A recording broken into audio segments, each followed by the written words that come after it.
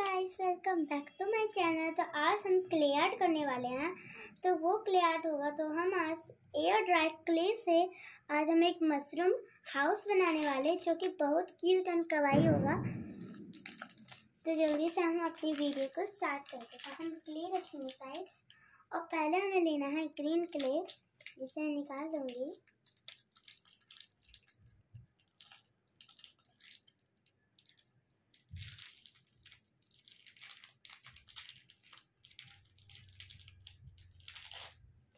पूरी तरीके से हमें ये ग्रीन कलर निकाल लेना है। ग्रीन कलर को हमें गोला गोला करके इसे ऐसे प्रेस कर देना है, क्योंकि हमें कुछ ग्रास टाइप का बनाना है, क्योंकि जो हम मशरूम हाउस बनाएँगे, वो इसी ग्रास पे रखेंगे। इस टाइप से हमें इसको चपटा करते जाना है।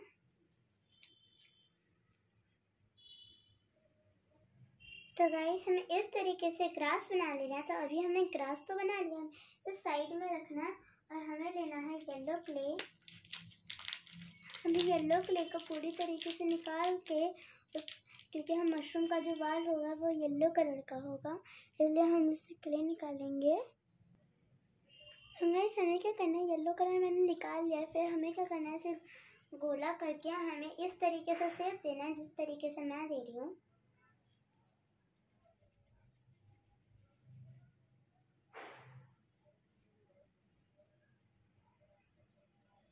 फिर हमें इस शेप को यहाँ हमें कुछ इस तरीके से रख देना है।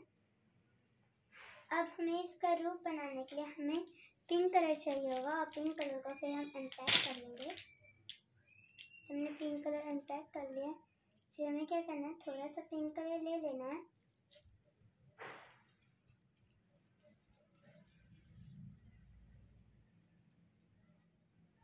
और हमें इसका रूफ कुछ इस तरीके से बना लेना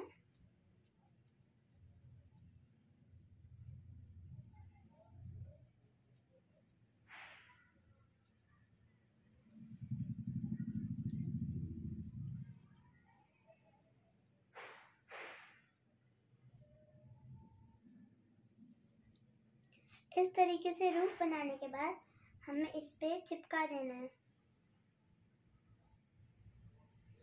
इस तरीके से हमें पिंक कलर का रूफ बना लेना वैसे भी हमारा हाउस का रूफ क्यूट तो लग ही रहा था, लेकिन उसे और क्यूट बनाने के लिए मैंने क्या किया, उसमें रैबिट के कान बना दिए।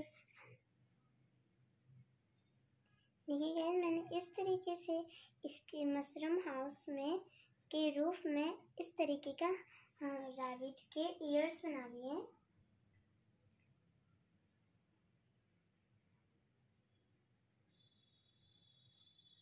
एंड फिर मैंने क्या किया? ब्लू क्ले लेके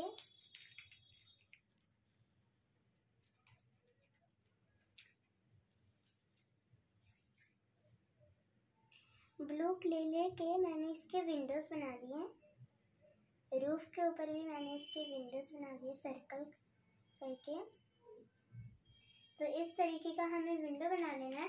फिर हमें क्या करना है? वाइट कलर चाहिए। और वाइट कलर से जो हमने रैबिट के कान बनाए थे, उसके अंदर वाइट कलर भी डाल देना है।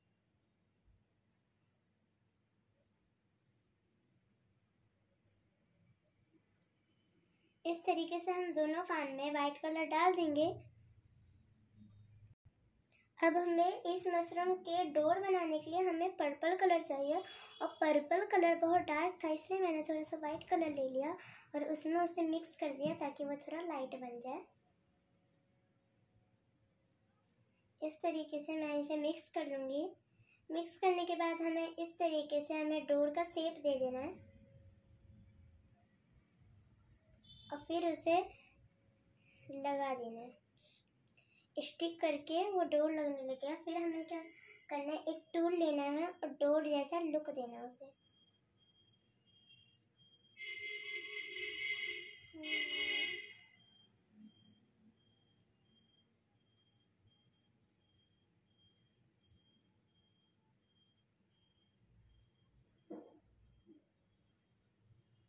इस तरीके से हम अपने डोर का लुक दे देंगे। फिर हमें क्या करना है? वाइट क्ले से स्टोर की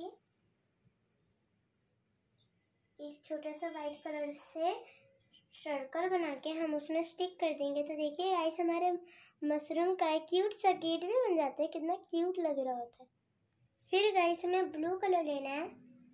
फिर हमें इसके सामने भी यहाँ विंडो बना लेना है। और फिर हमें वाइट कलर लेके इसको लाइन कर देना है। जैसे कि मैं आपको करते हुए दिखा रही हूँ। इसको साइड साइड में ऐसे आउटलाइन कर देना सर्कल की तरह। और नीचे भी हमें सेम इसी तरीके से आउटलाइन कर देना है।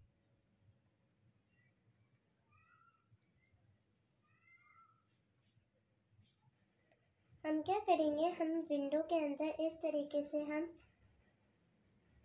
एक क्ले से लाइन बना के हम उसके अंदर चिपका देंगे।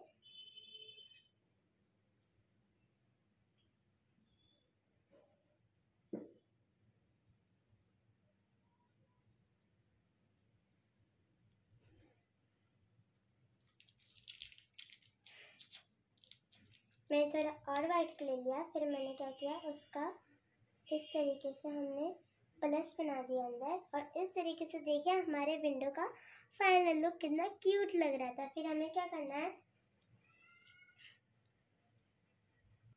वाइट क्ले से हमारा एक और काम है। वाइट क्ले से हमें क्या करना है? छोटे छोटे टॉस बना के हमें अपने रूफ पे चिपकाते जाना है, इस तरीके से।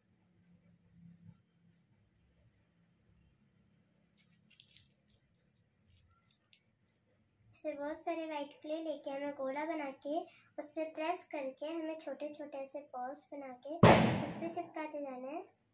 तो देखिए गाइस हमारा रूफ और कितना क्यूट लग रहा होता है। हमारा जैसा लग रहा है कि मशरूम रैबिट हाउस है। और ज़्यादातर तो हमें सिर्फ़ वाइट क्ले की ही ज़रूरत आ रही है। फिर हमें इसके बैकग्राउंड के लिए भी वाइट कलर की ही ज़रूरत पड़ेगी। तो गाइस बैकग्राउंड बनाने के लिए हमें क्या करना है? क्ले लेना है और इसे एक छोटा छोटा सा एक डंडा बना देना है। कुछ इस तरीके से हमें बहुत सारे बना लेने हैं। देखिए यार मैंने पहले से बहुत ज़्यादा बना लगे फिर हमें क्या करना है, इससे भी थोड़ा लंबा डंडा बनाना है। बहुत लंबी लाइन हमें बनानी है। इस तरीके से हमें बहुत लंबी लाइन बना लेनी है। फिर हम अगर लंब और फिर हम अपने बैकग्राउंड को एक एक करके इन लाइंस को चिपकाते जाएँगे।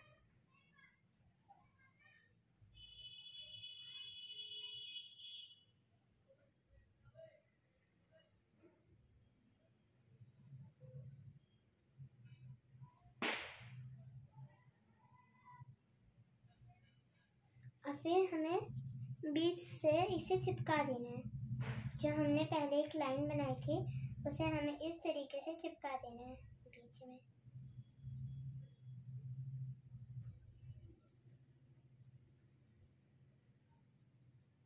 तो आपको दिख रहा होगा कि हमारा बैकग्राउंड कितना अच्छा बन गया इस तरीके से। अब हमें क्या करना है? अब ब्राउन क्ले लेना है। देखिए गाइस हमने ब्राउन क्ले ले लिया। अब हमें क्या करना है? ब्राउन क्ले से हमें राउंड राउंड करके हमें उसे चपाती जैसा बना लेना है। प्रेस करके हमें क्या करना है? इसके सामने सामने में चिपकाते जाना है ब्राउन ब्राउन सा।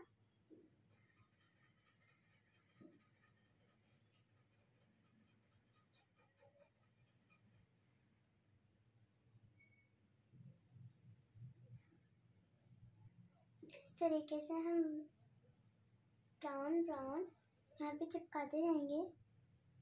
ये गाइस ये देखिए कितना क्यूट लग रहा है ना गाइस हमारा मशरूम इसका बैकग्राउंड एंड